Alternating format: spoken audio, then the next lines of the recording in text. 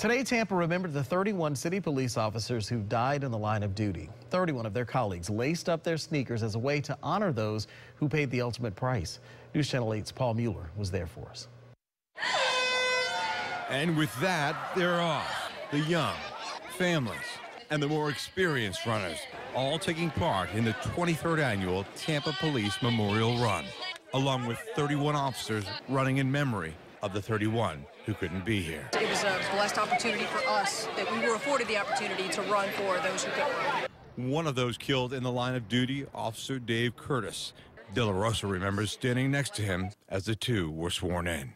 You know, it was one of those things that it was just, you know, it was surreal. We couldn't believe what had happened. Officers Curtis and Jeffrey Kocab were shot and killed in June 2010 during a routine traffic stop that turned deadly. It's an honor to be here. If they were here with us today, they'd be right here in the formation running for the rest of us. You know, at any given day, that could happen to us, and I hope that, you know, knock on wood, you know, someone will step in and run for me. These officers, it sounds like a cliche, but they're literally one call away from not returning home to their family. Interim Chief Brian Dugan wants the people of Tampa to know his officers will be there, especially in today's politically charged climate. Whether you kneel or stand, when you call 911, the cops are going to show up. During his three decades at City Hall, and everyone else is running away from a scene, it's these folks that are running in.